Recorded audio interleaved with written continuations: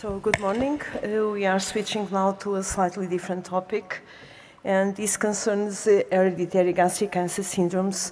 We do not have much time, so what I'm going to do is just uh, to present to you an update of what has been done recently in this issue, regarding this issue.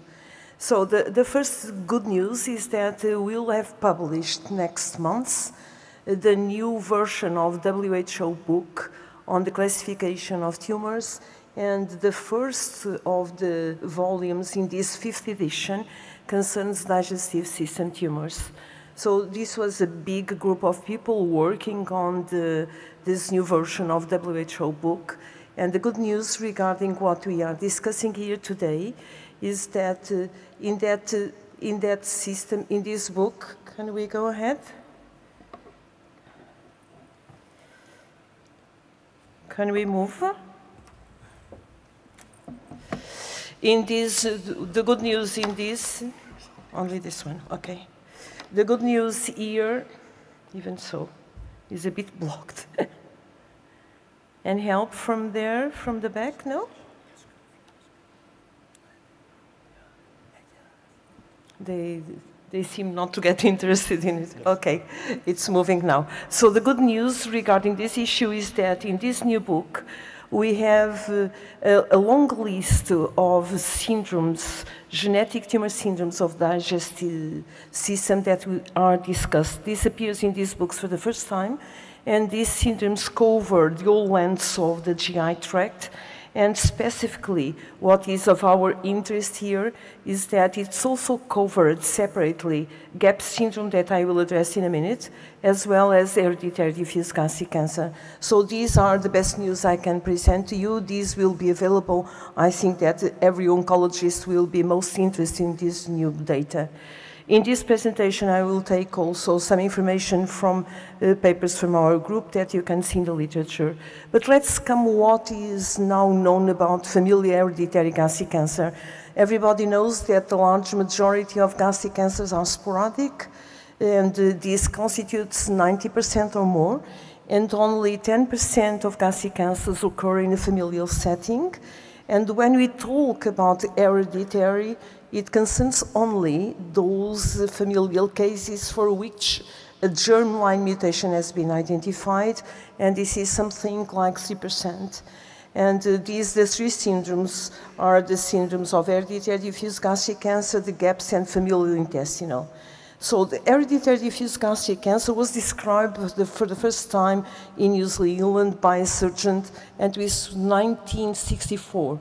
But it was only 1998 that Perry Guilford had the opportunity to study large kindreds from these individuals in New Zealand that are fantastic because there are many generations, the opportunity of the expression of the phenotype, all those that are highlighted here, many patients have died.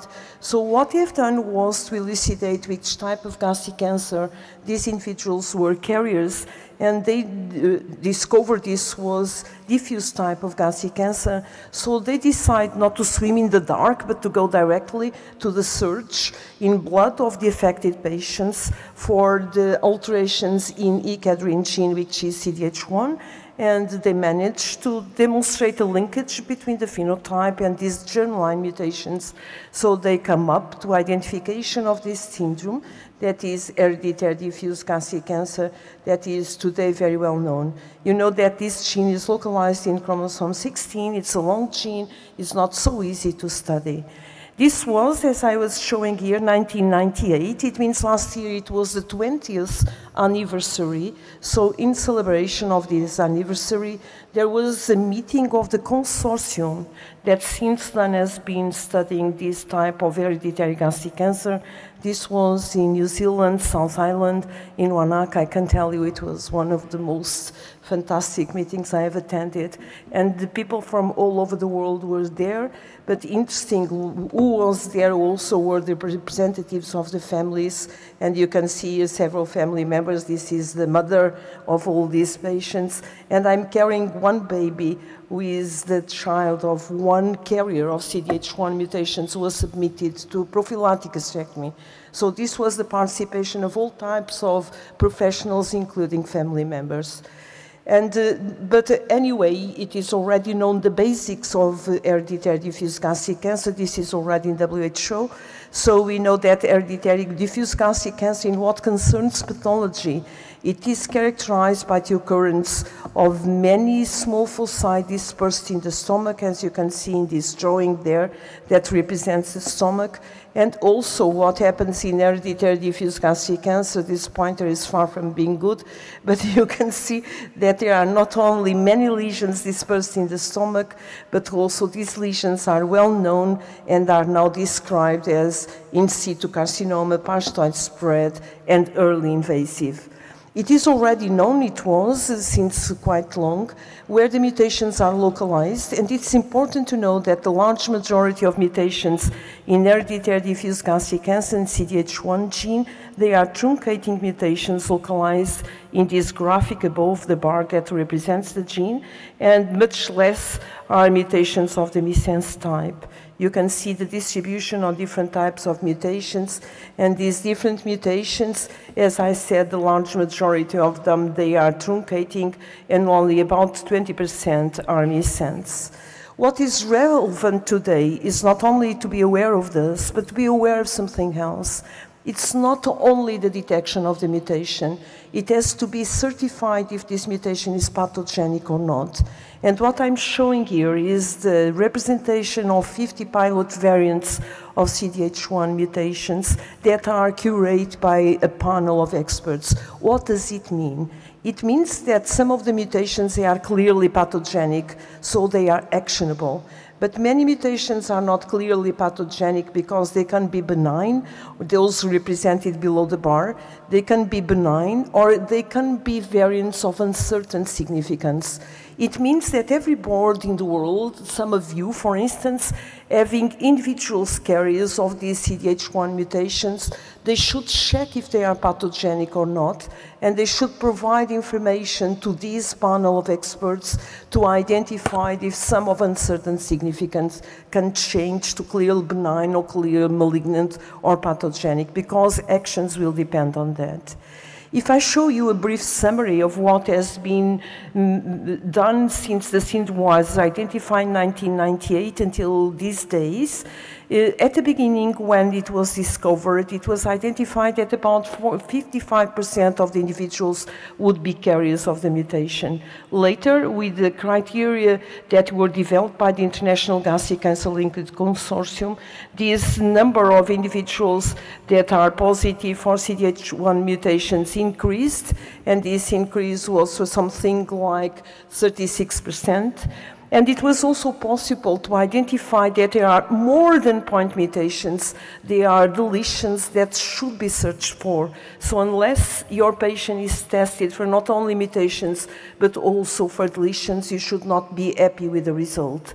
So coming with this type of approach and also taking in consideration target DNA sequencing and exome sequencing, a lot of information accumulated in the meantime. So the number of negative families is And what is relevant is besides CDH1, there are other genes people should be aware of. And one of these genes is the gene encoding for alpha catenin that should be considered also in the genetic screening. There are other genes such as PALB2, TP53, BRCA2, which meaning is still waiting for confirmation, but the gene encoding for alpha-catenin, there, there are no doubts. And if you compare hereditary diffuse gastric cancer and if you compare hereditary diffuse gastric cancer related to CDH1 mutation with hereditary diffuse gastric cancer related to the mutation in the gene encoding for alpha-catenin, you see that both are dominant. The risk of gastric cancer in alpha-catenin carriers is not known. In both cases, diffuse type. In hereditary diffuse gastric cancer related to CDH1, you should expect that breast is also affected, which is not known known yet in hereditary gastric cancer related with alpha-catenin gene defect. So in the stomachs, as I mentioned, what we see is can be in carriers asymptomatic with normal endoscopies, a high number of lesions that encompass not only early gastric cancer of the diffuse type, but also the precursor lesions that we have identified and published, and these are pagetoid spread or in situ carcinoma. What is relevant regarding the understanding of the significance is the molecular mechanisms leading to the inactivation of the second allele of E-cadherin in hereditary diffuse gastric cancer is different in a primary tumor from what is observed in the nodal metastasis.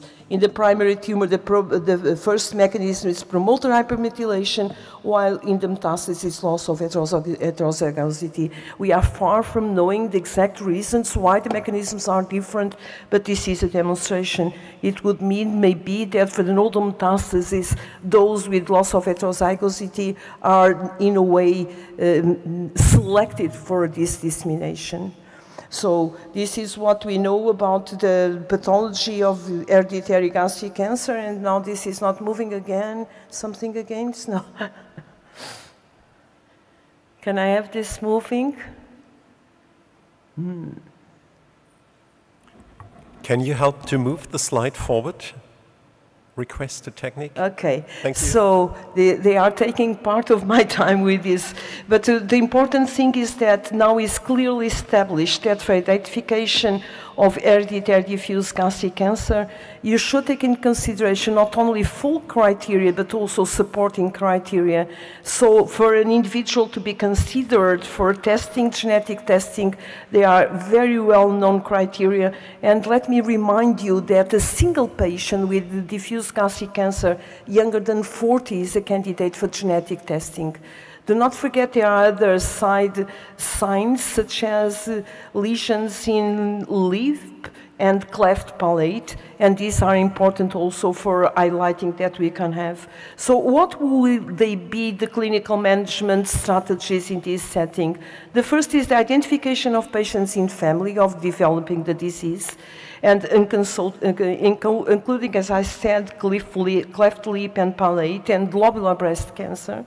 These individuals should be identified for genetic testing. These days is mandatory to search not only for CDH1 and deletions, as I said, and if negative, to search for mutations in the gene encoding for alpha-catenin. And these patients should be integrated in a program for risk assessment and risk reduction measures.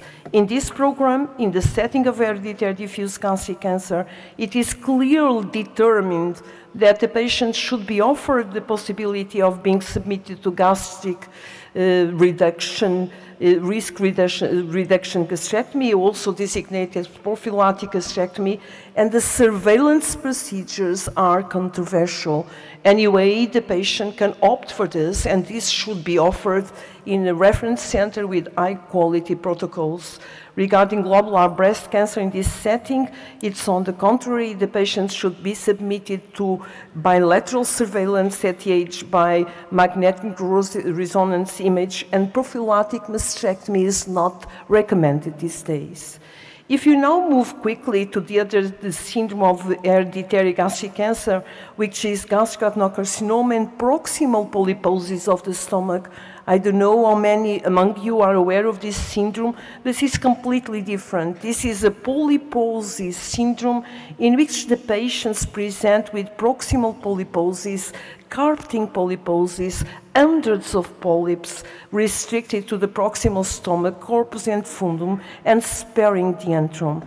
These polyps are mainly of the fundic gland type, though other phenotypes can exist. But the most important is that these fundic gland polyps, they can display dysplasia. This was in a patient nine years, and dysplasia can be high grade, and in a proportion of individuals, there is invasive gastric adenocarcinoma of the intestinal type. This was described by, the first time by um, a group from now from Australia. This was 2012. Soon afterwards, the same year, there was also a publication in Gut from a Japanese group. By that time, all these genes were screened for mutations in both groups, they were completely negative.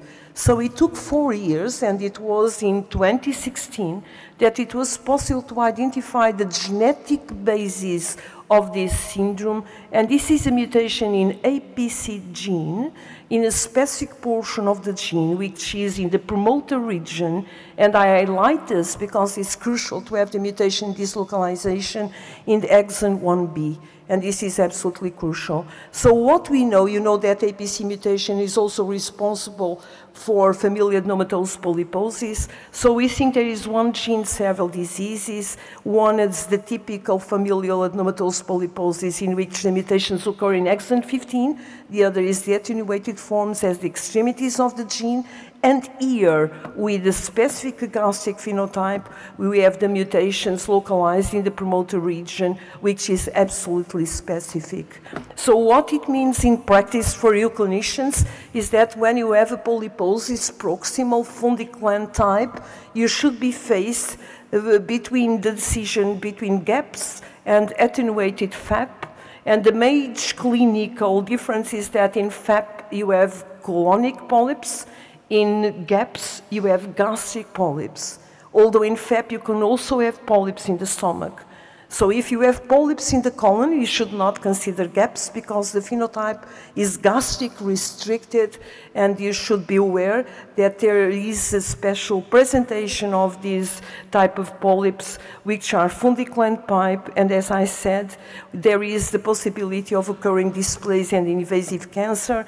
This was the first case described in Europe, in Czech Republic, in the Congress very recently organized by Florian Lordick here in Czech Republic. There are only in Czech Republic eight additional families with this syndrome. So I'm afraid there is in Europe many more families. You should be aware and search for them. This is from Austria, and this is from the Czech Republic, as I mentioned before, eight new families, and again in Japan it goes on being described. So is this relevant? Yes, it is, because there are consequences, as you could imagine, for the identification of the patients, their treatment, and the identification of carriers. So the criteria for the identification of GAPPS is now clearly stated. We'll see this in WHO book, and you have here the proximal polyps, very high number, fundic polyps with dysplasia, should appear this phenotype in one proband or family member, but what is absolutely fundamental is that the mutation is identified because you can have fundic polyposis restricted to the stomach that can be sporadic and uh, it is absolutely crucial to make this differentiation. Uh, this differentiation. We had recent one of those cases, and we still do not know what the genetic cause is because it's not localized, but it's a phenocopy of what is characteristic. So when we come to hereditary gastric cancer syndromes, one major message here is that the phenotype is crucial. It's in your hands, but the confirmation of the syndrome requires genetics. So what, is, what matters the most for the identification of the syndromes? You can say both. And uh, with this, I end my presentation and thank you very much for your attention.